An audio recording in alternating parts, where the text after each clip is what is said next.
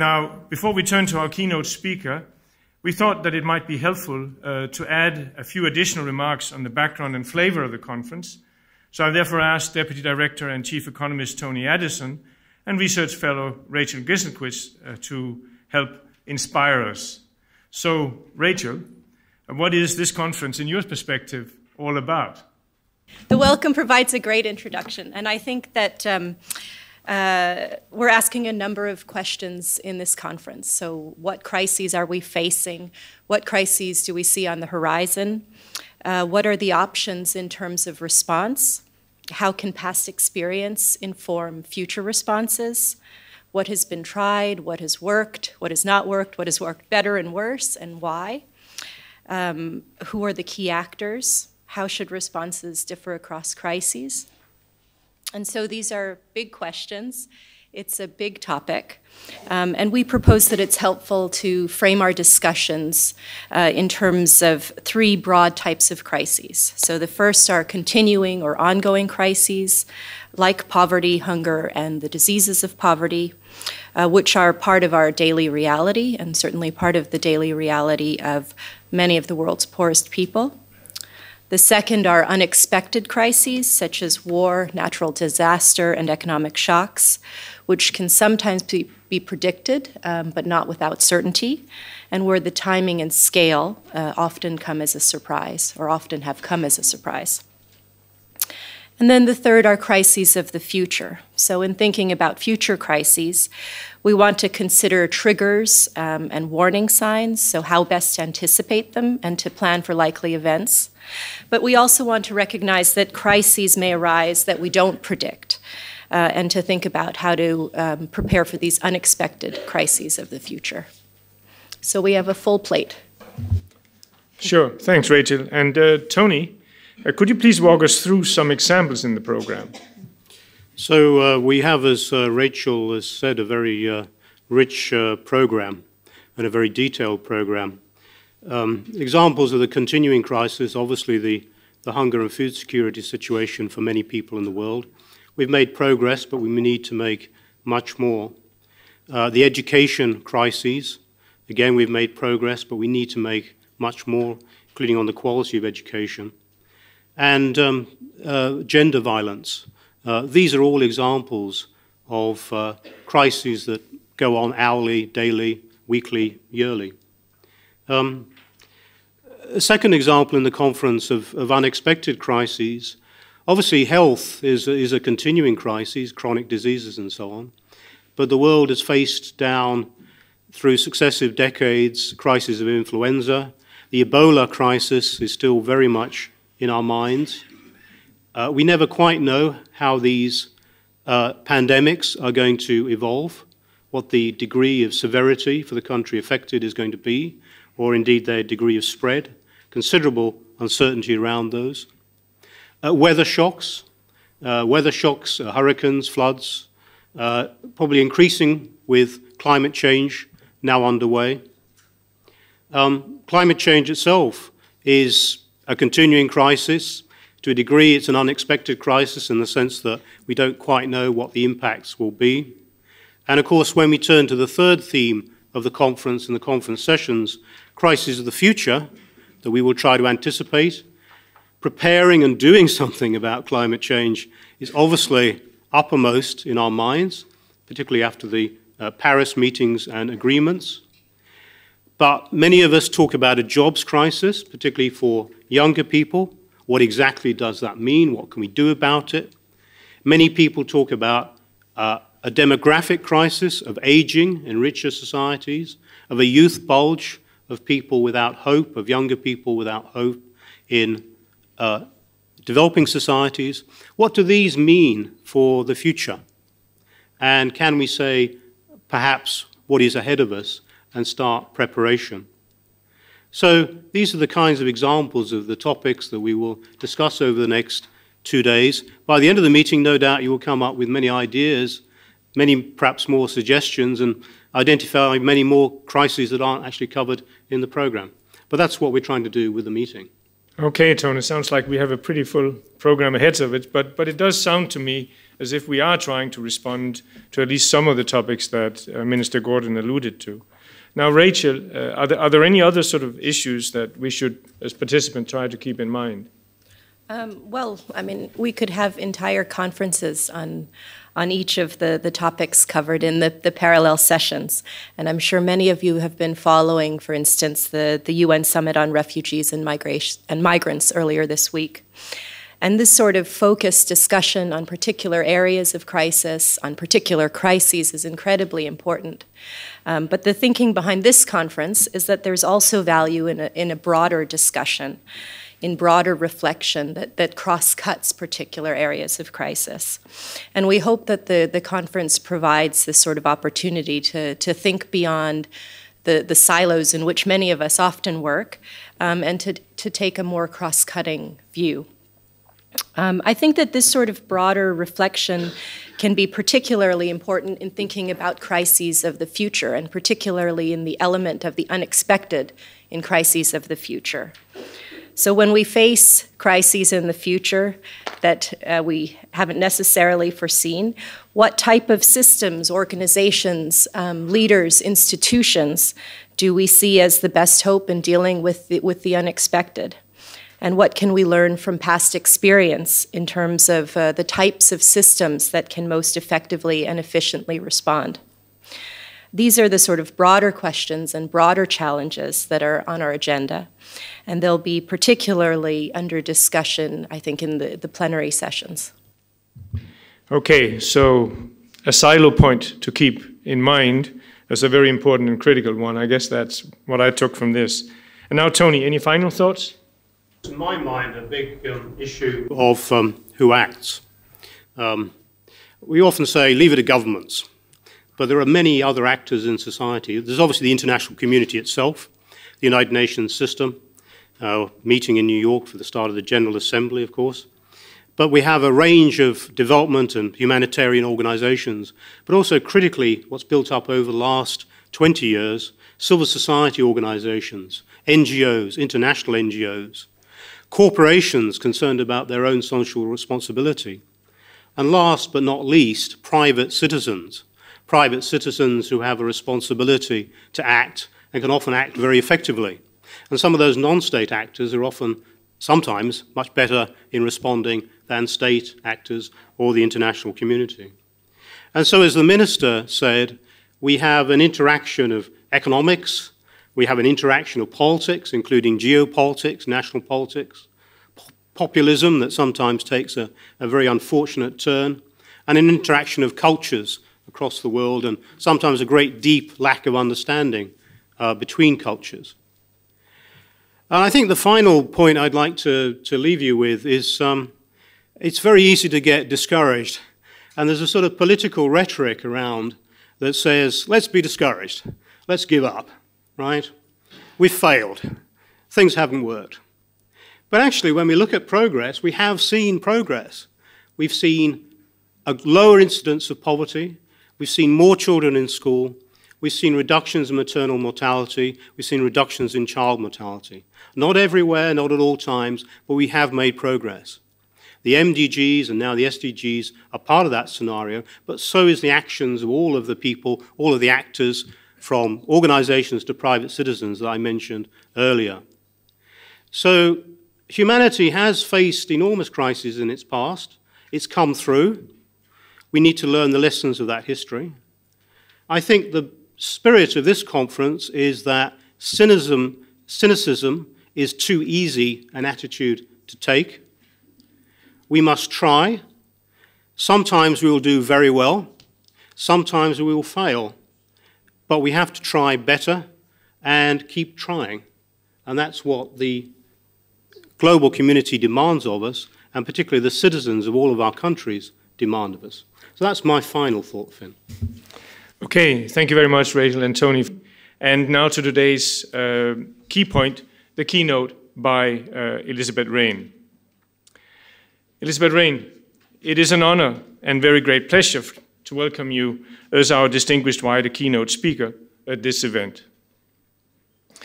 I know no one who can speak as authoritatively about this topic, responding to crisis, as you. a member of the Finnish parliament for more than 15 years, Minister of Defense from 1990 to 1995, Minister of Equality from 91 to 95, a candidate to the presidency of Finland, and an international experience which includes such important tasks as, for example, being UN Special Rapporteur from 95 to 98 on the situation of human rights in the Republic of Croatia, etc. UN Undersecretary General and Special Representative of the Secretary General in Bosnia and Herzegovina from 98 to 99. UNIFEM independent expert on the impact of war on women. And in, in 2011, member of the UNHCHR high level reporting panel on sexual violence committed by armed troops in the DRC. Elisabeth Rehn, may I invite you to take the floor? We look forward to your keynote. Thank you.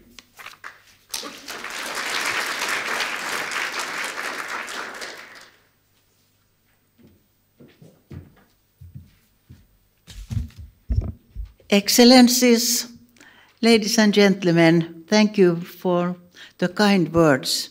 I have sometimes been joking about that when you are listening to those presentations, you have a feeling of just uh, being present at your own funeral, because normally all the beautiful words are told when you are all already away from all of this and can't disturb anyone, anyone anymore. Um, I think it was very good to listen to, to the one kind of keynote from our African minister, because uh, I think that what he told and what I'm going to say are complementing each other quite well. Uh, different views on and different matters. He was very much talking about the enormously important finances economy and uh, I'm not talking so much about that. Apparently, I will again stick quite a lot to, to the conflicts, crisis as wars, the wars and conflicts. I have got some kind of burden in my career from always being involved with wars from my very childhood. And, uh, and also, I will touch the role of women again quite a lot because I never uh, forget to to enhance this very important question. Um, the word history um, is very much uh, some kind of narrative of wars and conflicts, of victors and losers. And um, mostly the history is written by the victors, and that means that they perhaps are not always totally impartial. Um, it's, I think it's very important that this new organization was um, uh, just uh, established a few years ago, Historians Without Borders. We know that there are so many without borders. There are, of course, Médecins Sans Frontières. We have uh, the teachers without, we have a lot. But this is important when internationally you are looking at the history to, to take the right conclusions of what has happened before. Our former uh, Minister of of Foreign Affairs, Erkki Tuomioja, is one of those who took the initiative to this organization, and and that's uh, I think that will give a lot of backbones to us. Um, of course, we haven't learned much from the history. Still, agreements, prevention, democracy don't play a role for greedy leaders who wish to reach political and economic power. The ordinary citizens have a very little say when they are drawn into conflicts that end in most brutal wars. And now I again have, have also to make some kind of, of um, announcement. When I'm talking, I'm definitely not talking with the voice of my government or, or United Nations or any institutions. It's just my uh, voice and my opinions for whatever they are worth.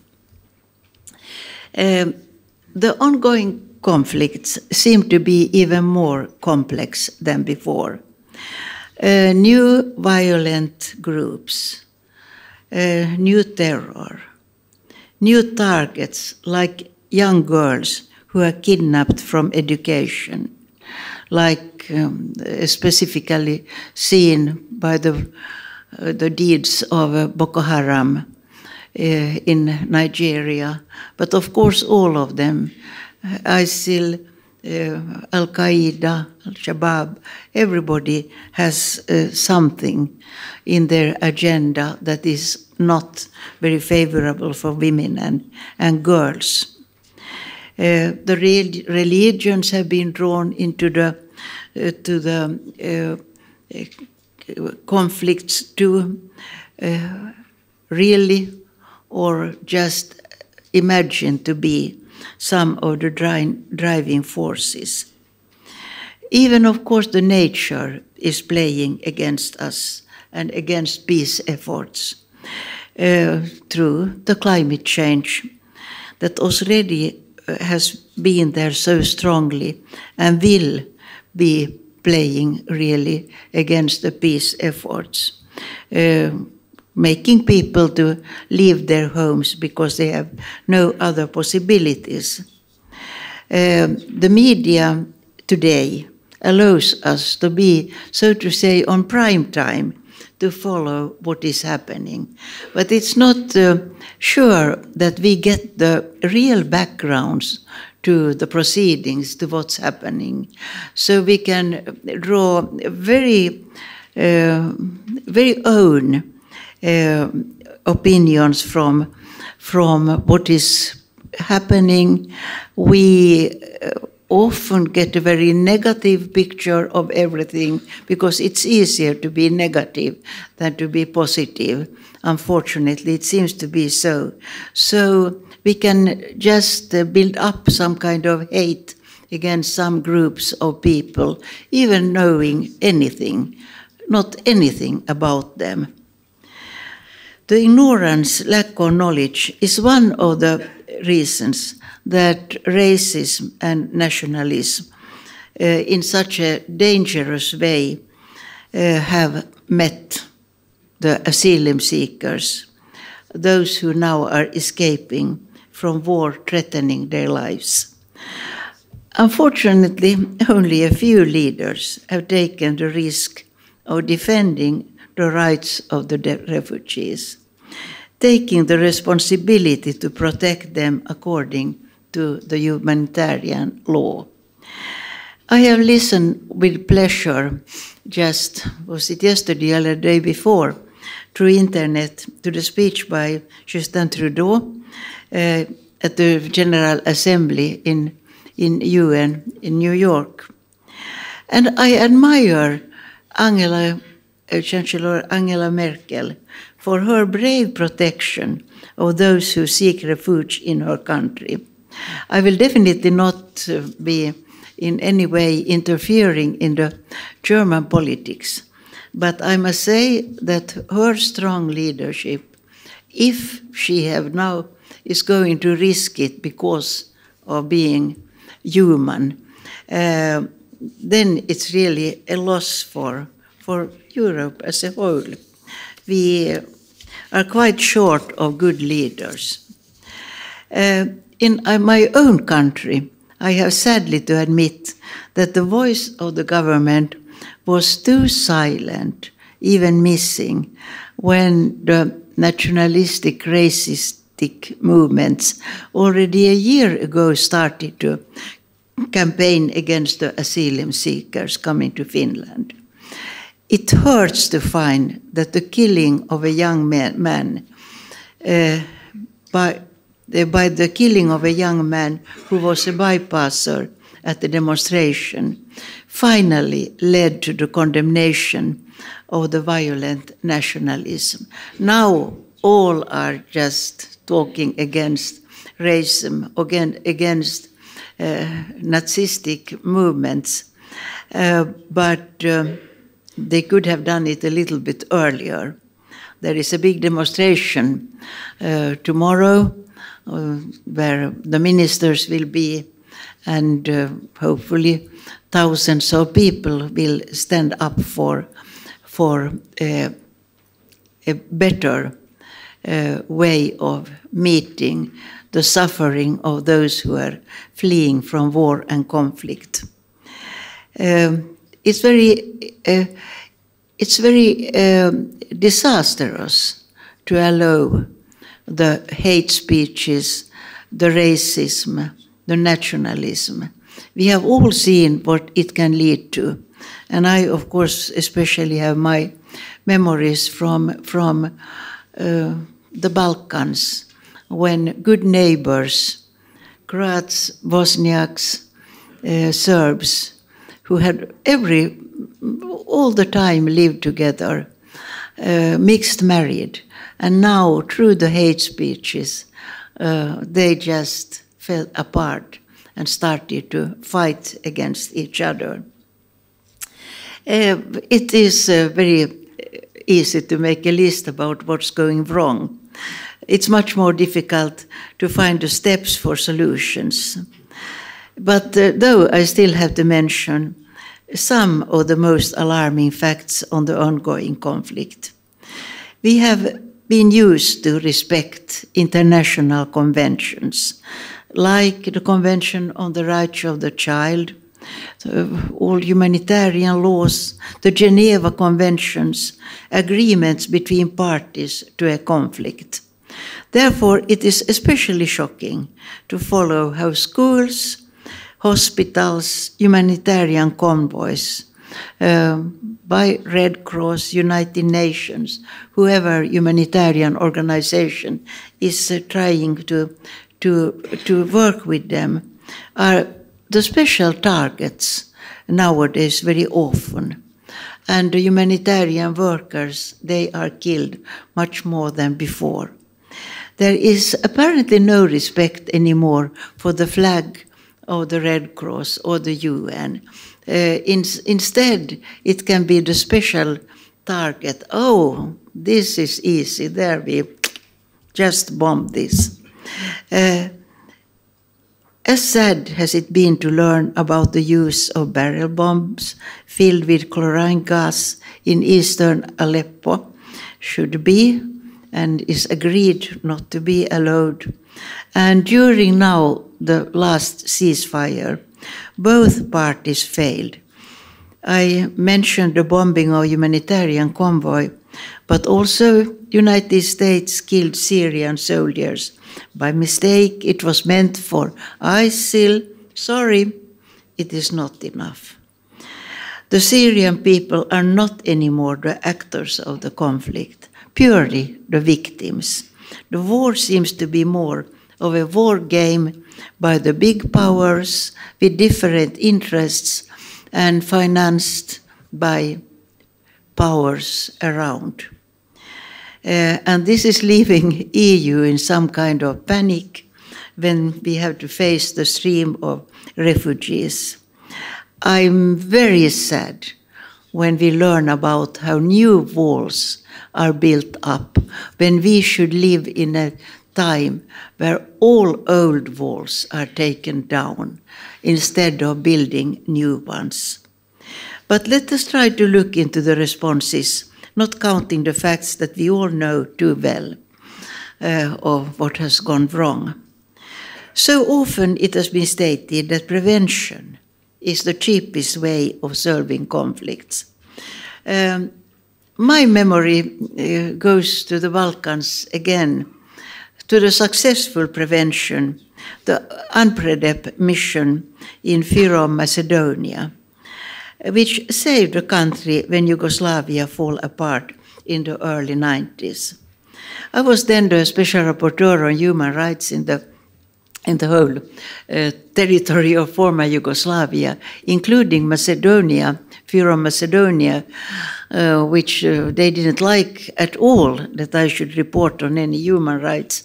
But there were some still between uh, the majority and the Albanian population. But it's, it was sold. We got the uh, together with the UNPREDEP mission um, Macedonia could make it. Excuse me if I don't remember to say Fyrom all the times. Um, I have said it once at least. Uh, so uh, that was something that saved a lot of lives and also put the country in order much uh, quicker than the others.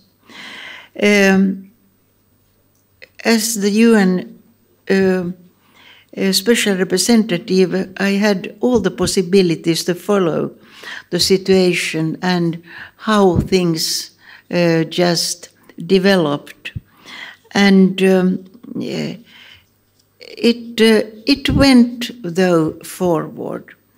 Um, Serbia, Montenegro, Bosnia, uh, Kosovo, still included in, in Serbia and Montenegro and Croatia, all of them had a little bit of different kind of problems, but um, most of them today are doing well. But still, I have a lot of worries about Bosnia and Herzegovina, about Kosovo, in spite of all the money that has been been put to make it to work. Uh, it still doesn't work. Uh, the Dayton Agreement uh, for Bosnia, for the peace uh, of Bosnia, ended and stopped the direct fighting. Not all of it, but though. But um, it was not the ground, the base to build up a nation on, because all the split with two entities 10 cantons in, in the federation, and to get all these together uh, to be one state, one government, it seems to be very, very difficult. Um,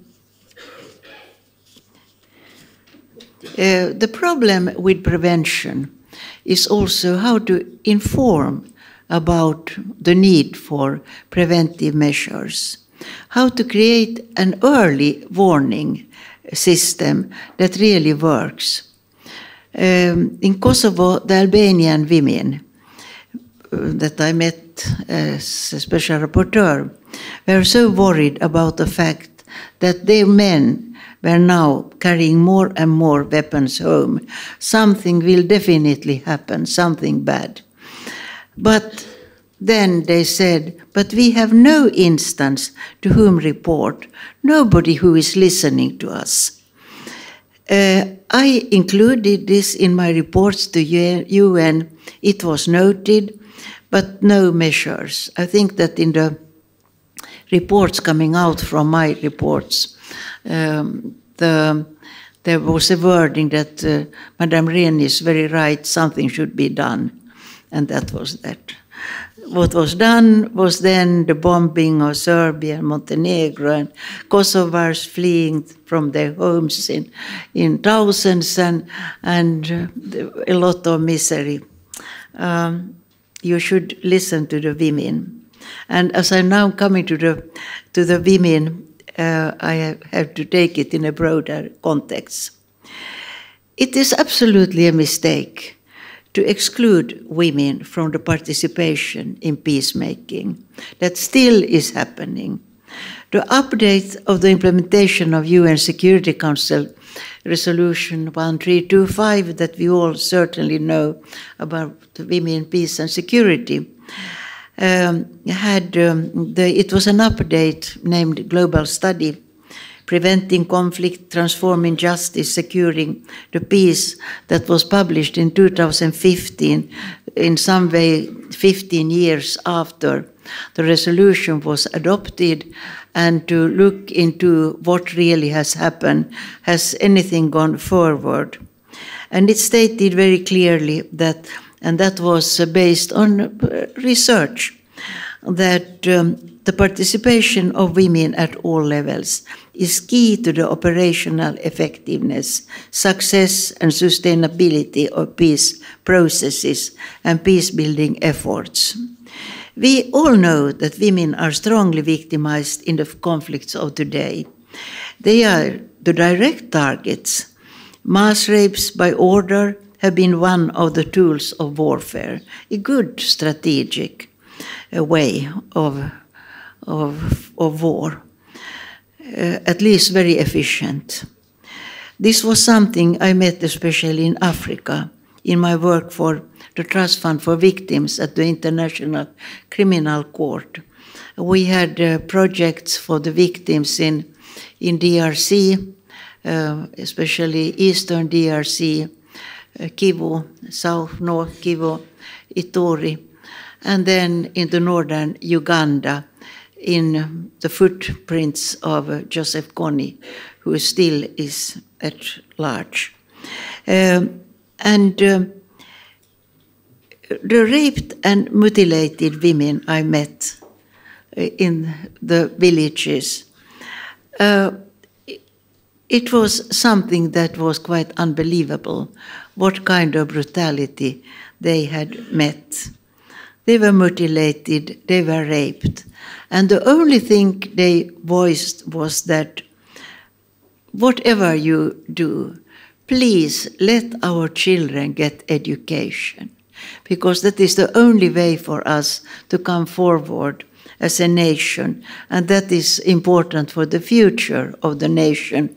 So they still are looking into that they want to be a part of building up the nation.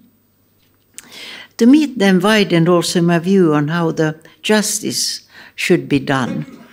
The global study explores both the importance of fighting impunity for crimes against women and, of course, men through criminal justice proceedings, while also recognizing the central role role played by reparations, truth and reconciliation processes, and in ensuring that victims and their communities heal and recover together. ICC and national war crimes courts have to get perpetrators responsible, but at the same time, the nation building after justice is reached is important as well. Um, you, everybody have heard about the Gacaca courts in Rwanda, where both the victims and the perpetrators for not the biggest war crimes, but like rapes and so on, that are of course war crimes, uh, are coming together, sitting under the tree, led by the wise man of the village, and talking true, coming to the truth. And then you can even apologize, you perhaps can even take the apology. But at least you can look forward, and that must be the, the way of transformative justice. Uh, the guilty ones should be uh, put to, to stand the court procedures, but we should build for the future. I have um, also mentioned, of course, the role of women building peace. I was so pleased to read the joint communique from Havana from 24th August, one month ago, announcing the final agreement for peace in Colombia after all the years of war. What pleased me was naming the delegations.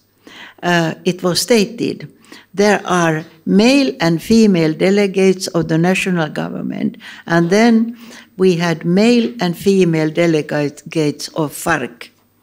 It was important to mention explicitly that this was an agreement reached by men as well as women. Two days ago, I met women from the Parliament of South Sudan, anxious to play their part of reaching peace in the recent violence. There are many more examples. We all know how the women of Liberia forced the peace after 14 years of of brutal war. And I'm grateful to Staffan de Mistura, uh, who has invited women as representatives of the many parties of the conflict in Syria, forming an advisory group for his negotiations. Hopefully, they will also be invited to the main negotiations uh, when and if they begin. The Nordic women will also play a role for peace. Commissioned by the respective ministries for foreign affairs, a Nordic Women Mediators Network has been formed. Uh, it is composed by women leaders experienced in peacekeeping, in mediation, from each of the five Nordic countries. Model was taken from South Africa, who has a similar group, uh, also uh, supported by the Foreign Ministry of South Africa. And um, a month ago, the Nordics, some of the Nordics, uh, were uh, participating in a joint workshop and conference in Pretoria. Um, and we believe that this working hand in hand uh, is very important that women from different regions, north and south, but also east and west, we hope that there will be more of these groups that can cooperate, building peace and being mediating for peace. I will stop with some few words uh, about UN itself. The gap between what it aspires to do and what it actually does is growing. I quote Kevin Rudd uh, from Australia the UN culture must change, perhaps with a new reward structure to give priority to operations in the field rather than the operations at headquarters, to implement the recommendations of reports rather than just writing more reports and to measure results on the ground rather just counting the number of UN conferences held. This is a UN conference. I think this is a very good conference. Uh, strong words, but very relevant in the situation when the leadership of UN will change. The UN has problems, but the world still needs UN. The next Secretary General, whoever it will be, needs a strong support from the member states. It is a step forward that uh, the election process has been more open than before. There have been several hearings with the candidates, and the list of candidates is there. A couple of the candidates have now withdrawn from the list. Um, East Europe has never had an, a Secretary General. Women have never been in this position. So there are very strong words about this must be one from East Europe, it must be a woman. Uh, there are qualified both women and men standing candidacy from the East European region. But of course, there are other candidates too. And um, then we have to remember that in the very end, in spite of all the openness, it is the Security Council who takes the decision with the rights to veto for five of them. So this is the reality we have to, to remember. Uh, the leaders of UN have been very different personalities. I have, in fact, uh, met at least five of them and worked very intensively with two of them, the three of them. Um, they all have been their own personalities and worked in a little bit different ways, but they have been keeping the UN flag high. And I absolutely trust that the she or he who will be the next will continue to reform UN, to make it the world organization, organization we all can trust. We must never uh, allow that um, that uh, UN will be looked at just one uh, NGO amongst others. I don't think that anybody can take that authority that UNO has, with all its shortcomings, with all problems with. Um, with uh, peacekeepers who are not behaving well, with all other problems. But still, I'm a devoted friend of the United Nations. Uh, peace is the only thing that really matters. The rest is depending on peace. So, still, we must give UN the role, and they must take the role to be uh, the, the important peace activist.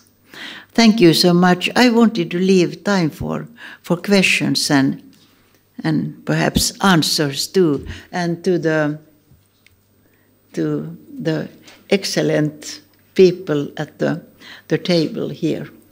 Thank you.